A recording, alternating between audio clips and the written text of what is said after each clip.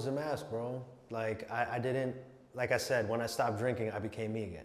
You know, I mm-hmm. took that mask off. So what people saw was me, you know, and even though, and I was fronting like I was happy and, you know, that's the party guy, yo, it's all good, you know, let's go out, let's do all this. But I wasn't, you know, I wasn't happy. I was struggling with, you know, depression and being overweight. Like I, mm-hmm. I lost almost 40 pounds within the last year, like legit down, down back to size 32 on the waist, you know what I'm saying? Well, congratulations thank you, Yeah. thank you. But again, it- that, that's all, um, that's all of these choices that I'm making now by taking that mask off. Being a, people are able to see me for myself, for, for Oh. who I really am.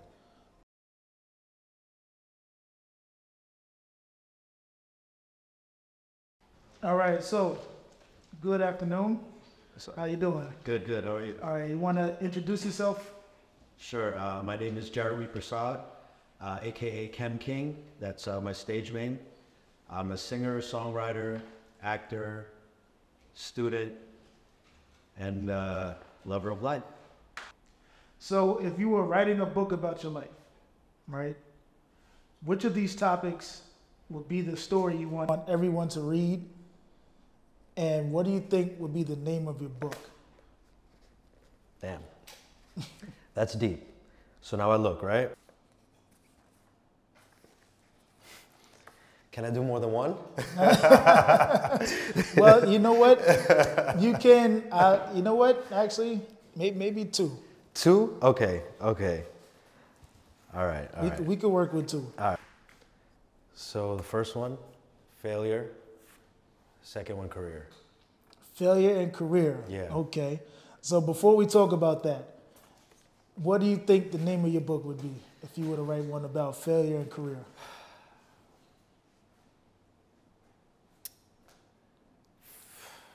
Off the top of my head, maybe something like from then till now, you know, because the failure is where everything comes from for me.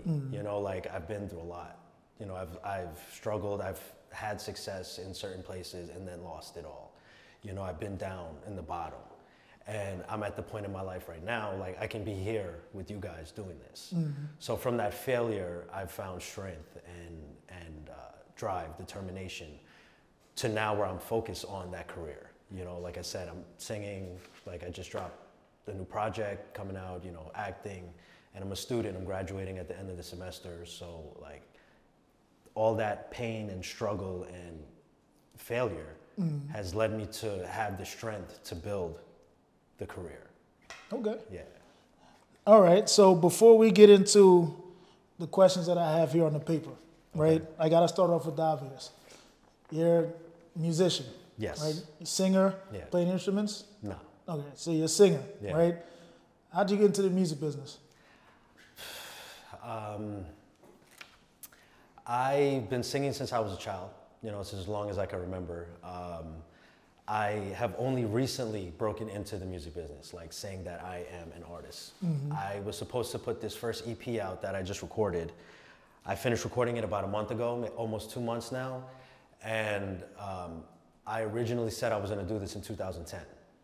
So it's been 13 years in the making, you know. So again, back to that failure, you know, trying to be a, an actor, a singer, trying to do all this stuff, but growing up and you know just going through growing pains, life, struggle, you know, personal demons and outside demons, you know, it's um, it has brought me to where I'm at now. So technically, I'm brand new. I'm a new artist. Like I'm just doing a bunch of shows now, getting the campaign going for my uh, promotion for the album and stuff. But like I said, I've been singing for as long as I can remember, and I've been trying to do this for a while.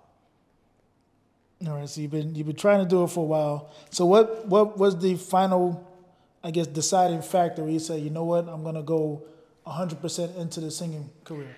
Um, real talk, my sobriety. Okay. I, I stopped drinking. You know, um, that's a huge part of the failure part of my life. You know, like uh, I definitely struggled with that growing up and um, being able to kind of conquer that demon. You know, it's always there, but being able to just kind of move past that hurdle and really be able to like focus. Because without that, you know, people have been saying like, yo, you're changed. Oh my God, you're doing your thing, this and that. But I really feel that I haven't changed. I'm just able to be me. You know, I'm finally able to be myself without the all the other bullshit. You know, like the drinking, whatever, partying, all that stuff. So now that I have this focus, I'm actually able to to get things done. You know, live up to the potential that I've always had. What would you say are some of your strengths? Some of my strengths, um, that positivity, man. I feel that's a strength. You know, like so. Th- those things, I try to make people better when I'm around them. Just as you know, it's about about synergy. So I feel that one of my strengths, definitely those things, and my empathy. You know, I feel um, that because I do my best to understand other people and how they feel, um, that I'm able to be in places and you know be just be wherever I need to be because I'm not I'm just trying to make sure that everybody's good. So I feel that that's a strength. All right. Yeah. Now, would would your friends or family say that that's your biggest strength, or do you think they would say something different? I mean now, you know, but it, again, I go back. Yeah, I'm gonna keep going back to the failure stuff, and we will get into that stuff. But mm-hmm. I feel like people's perception of me is changing now because I'm changing, or I'm changing back to what I am, who I am. You know, like I'm not because of where I am with my sobriety and stuff like that. It's there has been a perception of me. Like I know I'm not stupid. You know, like I used there, there were times where people were like, "Damn, bro, you need to chill." So I know that there's that's still out there. You know, and I'm just uh, excited for people to see who I really am. You know, Some of the values that you mentioned, you know, you mentioned that you're empathetic and and um, you you hold your you hold your beliefs that you're able to bring positivity to everybody around, right? Um, can you say that there are any other values or beliefs that you really stand firm on? fairness, man. Like I, I'm, I'm a huge believer in fairness. You know, like if if we're coming to the table to try to do something, we both have to be on the same page. You know, like if and if I'm expecting something from you, you're expecting something from me. There there needs to be a, a communication and a relationship where we both can benefit. You know, and this world is not fair. Like we know that for a fact. Like you know, we see it all the time. You know, good people go down and bad people are all the way up. So I, I try to pride myself with trying to be as fair as possible. You know, um, and if I deal with people who are not fair or try to take advantage, I don't need that around me. You know, like I, the energy that you bring around you will ultimately be within you. You know, so if there, if those type of things are in your circle, you're just going to be put put you're putting yourself in a bad position. Yeah. Right. Okay. So, speaking of that, right, and and realizing that things are not fair, right. Um, one of the things that I do want to ask you is, you know, especially now that you're, like I said, full full fledged in the music business, um, what do you think are some of the things that cause you stress, and how do you deal with stress? And when I say that, I don't want you to touch into, you know, how you used to deal with stress, Right, right, right. but how are you currently dealing with stress? Okay, okay. Um, well, right now, what I, what stresses me, I don't know. I, I mean, I try not to get stressed too much. Like schoolwork, I guess. You know, like I'm taking five classes right now, full semester, uh, full courses, 20 credits. So it's a lot of work. You know, a lot of writing and stuff. Um, so that kind of stresses me out. But what I've done is try to find tools and, and ways to manage the work that I'm doing so it doesn't become overwhelming.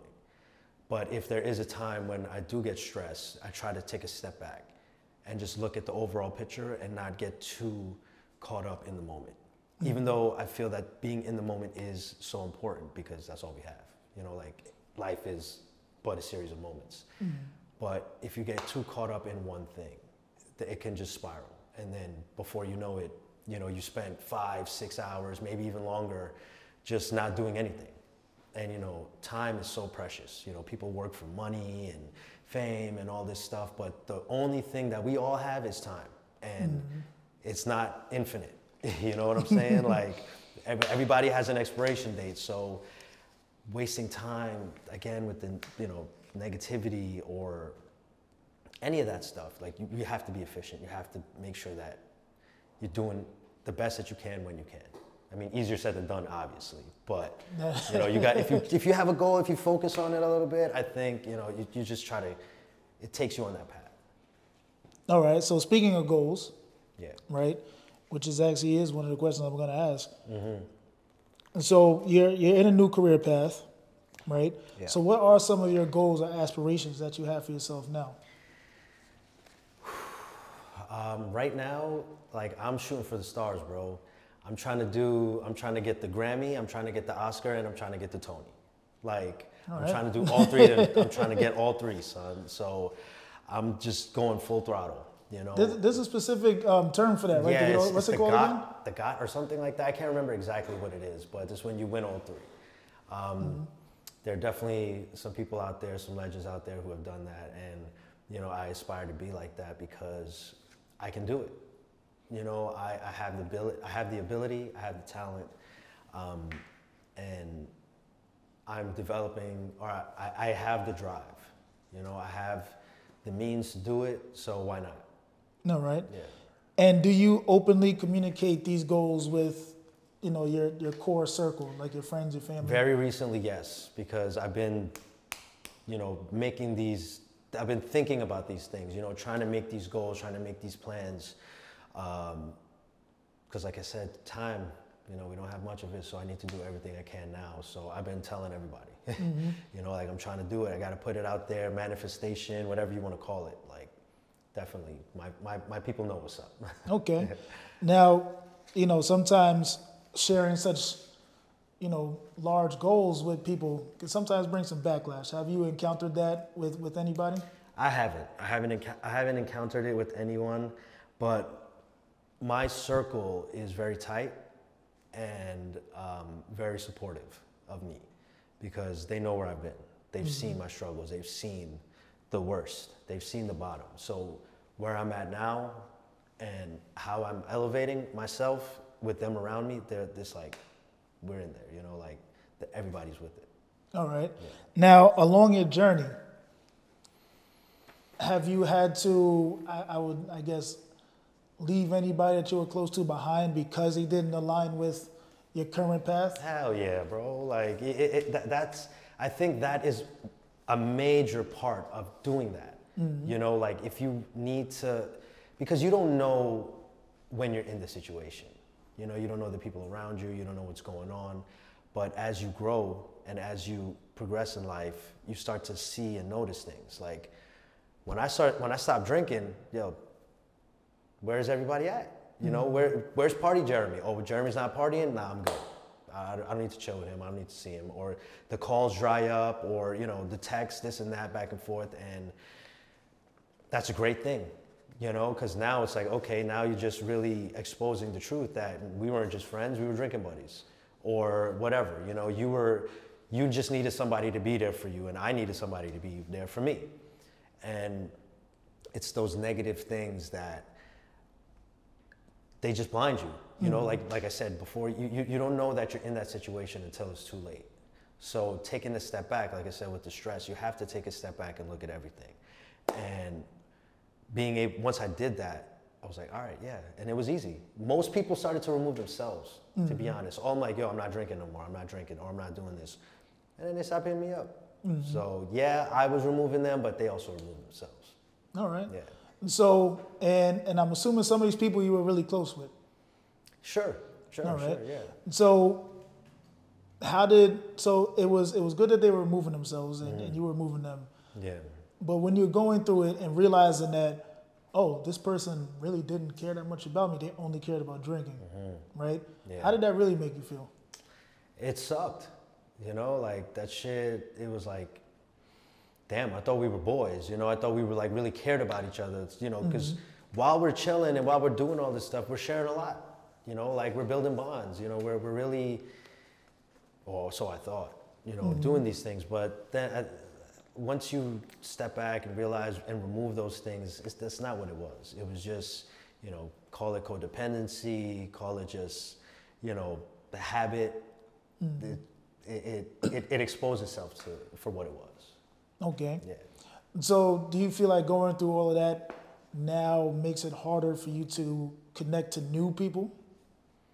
Oh no, no, no. I feel uh, quite the opposite actually. Um, I've been, I've been doing a lot of networking lately. You know, I've been really trying to just put myself out there with the music and stuff, doing a lot of performances and stuff. And it's like, everywhere I go, I'm just really fluid with meeting people. You know, doing the networking thing. Um, actually, the other day, uh, I was, I was at the bar with my boy, and that is that in itself is big because I can go to the bar now, I can go chill, and I don't even have the temptation to drink. So I was there, we were chilling, and this couple sat down next to us, and I just started talking to them. You know, nothing crazy. Ended up talking for like three hours, all of us, you know, just laughing back and forth. And then when they left, my boy was like, "Yo, bro, you can literally talk to anybody.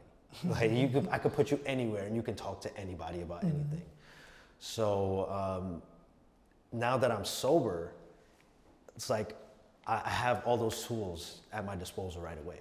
Like I'm not starting off the night good and having great conversation, and then five, six shots later, I'm all, you know, fucked up or thinking I'm smooth when I'm really not. You know, because that's definitely Right. that definitely goes down. So.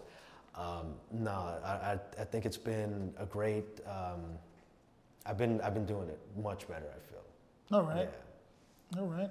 And so, do you feel that now that you're sober, that the the connections that you're making, not only are they more genuine, but are they helping you propel towards the goals that you mentioned before? Oh yeah, definitely, 100%. Because where I'm putting myself, I'm putting myself in these positions, in these places where I'm networking with the people who, who with the right people. You know, mm-hmm. the the people that are involved in the world that I want to be in, I'm able to meet them, and you know, make a good impression, and just be myself, and not have, you know, alcohol making me a different person you know because it, it definitely that that's what changed me. Mm. You know the alcohol is what changed me into that. And being so dependent on it and relying on it, it just it was if if I was still drinking now i wouldn't i wouldn't be where i'm at. I wouldn't be because in these in these places professional settings you have to be on point you know and and i need to perform. You know if i'm mm. going to sing and do all that i can't be doing that drunk i mean i'm sure there, there are artists you know who do that and you know i'm not knocking anybody who can make that happen but for me i just i can't Right. Yeah. Challenges. Right. And I'm actually going to switch the question around for you because your situation is unique, right? Yeah. So, how do you feel like you're approaching challenges now as to before your sobriety? right now I, I try to approach challenges um, step by step. You know i try to make a plan. In, in, in the schoolwork that i'm doing i'm studying uh, professional and technical writing at city tech. And you know it, it, it encompasses a lot of things like information architecture and a lot of uh, you know technical writing technical, technical documentation and stuff. And a lot of stuff that we learn is have a plan. Have a plan. Do some more prep work up front for whatever you're doing. So when your shit is flowing it's actually it's easier in the long run. So whatever i'm doing like scheme of things that you, lose sight of the step by step you know? So even though sometimes you can get caught up on a particular step if you have a plan you can see where what needs to be uh, adjusted you know like a dynamic approach to what's going on yeah because every every every problem is different. Every challenge is different you know? So and i've learned this very recently being dynamic is very important. You know you have to be uh, quick on your feet witty problem solver. Um, i used to struggle with change. You know i used to just all right it's one way boom boom boom we're going to do this. But i've realized you know you gotta gotta be on the fly sometimes you know? And had you, you mentioned you know what you're doing now, and being dynamic, be able to deal with change and everything. And that's, you know, of course, that's imperative, especially in your line of work now. You're gonna have to deal with a lot of moving parts very Definitely. quickly, Yeah, right? yeah, for sure. So when you used to approach problems, right? Yeah. How do you think that your former approach, I guess, either led to drinking or was a result of drinking? Do you? Um, I just didn't have a plan, bro. And I was just caught up in, I was young, I didn't know what I was really doing, but I thought I knew what I was doing, you know, and, and being, cause I've been acting for a while. Like I was, I was an actor before I became, I mean, I look, I love singing. I've been singing my whole life, but I was an actor before I was a singer. I went to City, City College back, uh, when we graduated from Brooklyn Tech in 2005, I went to City College for theater arts. So like you know, I've done Shakespeare, Sha- uh, classically trained. I've done musical theater. So um, you know, doing that, being in the in that um, in that world, it kind of it, it, took its toll on me in the sense where I didn't really know what I was doing. You know, mm. I was acting and then partying. You know, we would like we would do plays and then cast parties, plays and cast parties, and then it got to the point where it was just parties, parties, parties. And I didn't realize what was going on. I thought, yo, I had it made in the shade, man. The agents were coming and I was gonna get this role and this and that. Like, but I didn't do the work. I mm. didn't put in, I didn't follow through. You know, I, I thought the world was gonna be given to me on a platter, you know, and I had to learn the hard way and the long way. Pause. um, uh, um, yeah, I just I had to go through it to, to really understand that all the talent in the world doesn't mean shit if you don't have the hard work or dedication or drive. You know, so that that's where I'm at now. I had to learn these things the hard way. Because growing up, I didn't. I- I'm, I'm a lucky man. I I count my blessings every day when I wake up, yo. Like my, I have, I, can, I come from a go home. My parents raised me well. You know, I went to great schools. You know, I went to Brooklyn Tech with, um, o- uh, with the OG over there. Um, so, but it, it, it was all right. Yeah, okay, I'll study a little bit or whatever. I'll do this. I didn't really have to study hard or work hard to get good grades, things like that. So once I got to a certain point in my life where it was like, okay, those qualities and those things that you were coasting on, you know, without really putting in a lot of work, they don't cut it anymore. Mm-hmm. You know, it's like, all right, you, it's just okay. Now what? You're a grown ass man, bro. What you doing? you know what I'm saying? Okay, cool. You can act. You can sing a little bit. Are you kind of smart? What else? You know. So I had to really look inside and really fucking turn it out to be able to i had to so i, I see a therapist weekly and uh, that's definitely a huge thing that has helped me um, in, in my journey and uh, handling my struggles and you know she um, we talk about uh, we talk about so many things um, but just using the tools that I get from her, you know, again to, to handle the stress and things like that. It's um, it's uh, damn, I forgot what I was saying. No, it's Yeah, all right. It's all right. yeah, but um, yeah, man, I talked to a therapist, and you know, we just try to work through this, through these things together, you know. Okay. With with the acting, because I know sometimes they say actors sometimes struggle with getting out of character and going Mm-hmm. back into not you know that double life. Yeah, yeah, Kind of. that um, method acting. Right. Yeah, yeah, yeah. Right. So do you feel like, you know, being a trained actor kind of helped you get through, like, mask your problems with sobriety at all? Hmm. Damn, that's a good question. Uh, I would have to say, yeah. You know, just being able to kind of put up that front, you know, um, but also believing it myself. You know, like I, I'm not a method actor. I'm not really uh, into that that sort of um line of acting, but um, I, the way that I act, it's, it's like, it's called as if, you know, like it's as if something. So uh, I believe that something is happening, but it's not a real thing. You know, it's like, and I'm not drawing on past emotion, like past trauma. You know, to because a lot of method actors they do that kind of thing. You know, they get into that role and then they're using real things to make it a real experience. So, and it, it's tough to separate that because it becomes real. But I try to, um, you know, uh, whatever the scene is or whatever the, uh, the whatever we're doing, workshop or whatever, uh, you, you read the you read the script, you read the lines, you see what, it, what it's about, and then you see, okay, how would I feel if something like this happened to me? Not something that did happen to me that I can change into this. You know, so it's it's a relatable feeling, a real feeling, but not something that is that I have to like believe that that whatever the line is is a real uh, event, if, if that makes sense. No, that makes yeah, sense. Yeah, yeah, yeah. Makes sense. Wearing a mask is something that you were kind of just got accustomed to. Mm-hmm. Do you feel like that that's true? Absolutely. The the alcohol was a mask, bro. Like I, I didn't like I said, when I stopped drinking, I became me again. You know, I mm-hmm. took that mask off. So what people saw was me.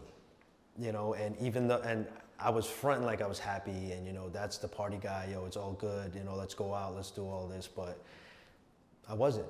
You know, I wasn't happy. I was struggling with, you know, depression and being overweight. Like I, mm-hmm. I lost almost 40 pounds within the last year.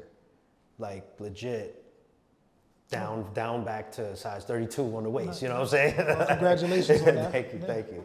But again, that that's all um, that's all of these choices that I'm making now by taking that mask off. Being Mm-hmm. a, people are able to see me for myself, for, for Oh. who I really am. Okay. Yeah. And do you feel like it actually was a little difficult to rediscover yourself after putting on a mask for so long? yeah, I didn't know who I was without, you know, those those other influences. You know, because I've been doing it for so long, just being so it was so ingrained in me, I didn't know anything else. So mm-hmm. once I was able to get out of it, I mean, it was a struggle to kind of adjust, but again, just working with my therapist and just being positive, being focused, and just staying, just having goals. You know, like I have the power. It's me. I, I'm the one who's making these decisions, and whatever is outside, I can't really control that. I can control me. I can control what I'm doing. So now that I am where I'm at, not only is it easier for me to be out and do these things, it's it's um, better than ever, you know, because um, all the all that charismatic and you know when I was drinking, I thought that I had to drink to be loose. Oh, let me take a shot. Let me oh, let me loosen up a little bit. Nah, I don't. I don't need any of that. Mm-hmm. I don't need any of that. And it it was a bit of an adjustment to figure that out, but now it's like, let's go. Right. You know? Yeah. So what were so I'm trying to I have, I have two questions, right? So the first one is what were some of the things that you did to like rediscover yourself? Right? And then the and then the second one was was there anyone along that journey that that, that helped you besides your therapist or were you kind of just keeping that to yourself? Um, what was the first part again?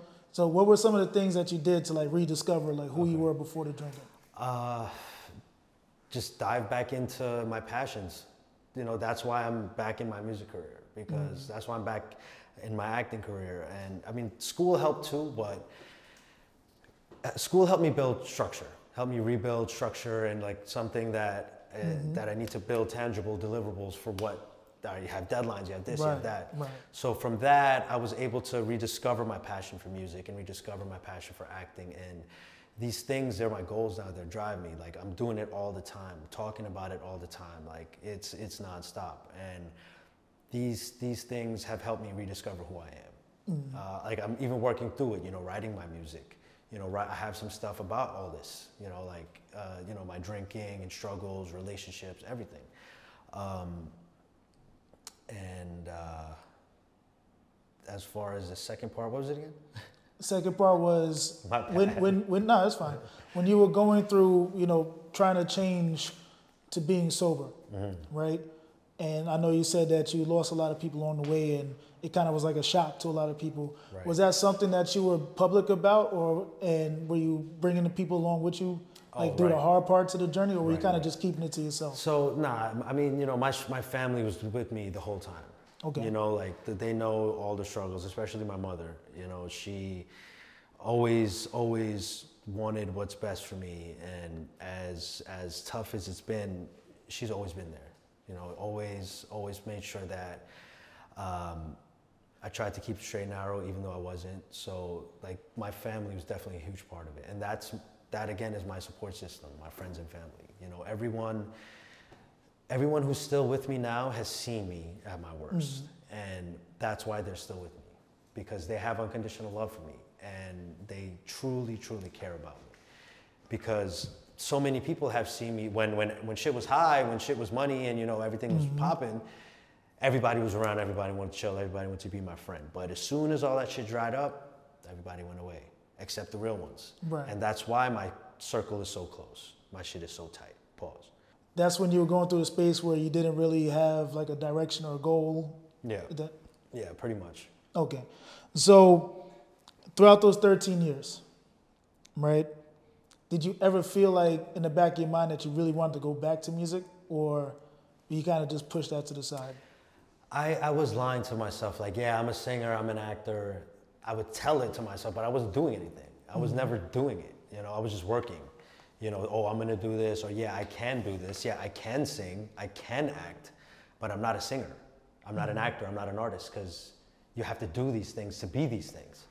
So, you know, I was just really working, just trying to just going through life, you know, not like you said, no real focus, no goals, just thinking somehow it'll magically happen, you know. Um, and that again is part of a lot of ha- a lot of that has to do with the drinking, you know, just that it clouds the judgment, the mind, you know, and I can't, for me anyway, I just couldn't build momentum. I think that's one of the major, major, major things that's been uh, a key to my success now is the momentum of just not being hungover.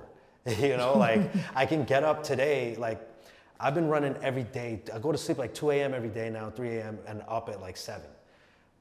Working all day, doing schoolwork, doing events, this and that, da da da. But I'm able to go to sleep, I'm able to wake up, and I'm able to continue on to the next day. You know, like last night, my, my, um, uh, my homegirl, uh, Anya Labella, she performed uh, in Brooklyn with, uh, at a S Street Media, one of S Street Media's events, and uh, I was able to go. You know, we were able to do the thing, stay out late. Took her home, went home, got, I didn't go to bed till like 3 a.m. Woke up this morning at 7, got some work done, got ready, boom, I'm here. Shit, you think I'd be able to do that if I was drinking? I mean, if I was still drunk and coming from there to here, maybe, but definitely not, definitely not, bro. And, and that's everything, like with schoolwork, with the acting, like I got my headshots done over the weekend, uh, um, this past Thursday. If I was hungover, you know, puffy face and all that shit, just bad skin, come on, you can't be taking headshots like that. Right. so definitely the momentum has been huge for me. Okay. Yeah. No, right. Your your parents, because they, like I said, because they built a certain type of life for you. Mm-hmm. Do you feel like things that you were doing were letting them down? Oh yeah, hundred percent for sure. Like I'm laughing about it, but it's it's it's a disgrace. You know, like uh, I, they they've sacrificed so much for me. You know, like they're immigrants coming from Guyana. I'm first generation born American here. They come sacrifice everything to make sure you know that we're good. You know, they set up a they set up a good life for us, and I eh, I think about this a lot, but I took advantage of the people that mattered to me the most, the people that cared about me the most, you know, and that's something that, you know, I have to live with, you know, like that. The, my mom always says this shit. There are actions to your consequences. There are actions to your consequences. No. I know what oh my mean. God. Consequences to there are your actions. consequences to your actions. You Yeah. can edit that out, right? You cut that shit? No, no, no. no. Uh, there are consequences to your actions. And, you know, uh, I, I, I, I used to hate when she said that. I used to hate it, but it's true. And you know, I, these are some of the words to live, that I live by now. You know, I saw there was one of the questions about like philosophies or ideologies that you live by. consequences to your actions, and um, this too shall pass. That's one that I'm huge on, because whether it's good or bad, it's gonna pass. You know, like if people are in a bad spot, yo, don't worry, it's gonna get better. If this is, if you're in a good spot, it might not last. It probably won't last.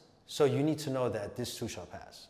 So that's that's one of the things that I use for stress too. So mm-hmm. to, to kind of bring that back. If something's fucked up, all right, fuck it. It, it. It'll pass. You know, like I have to deal with it now, but eventually, at some point,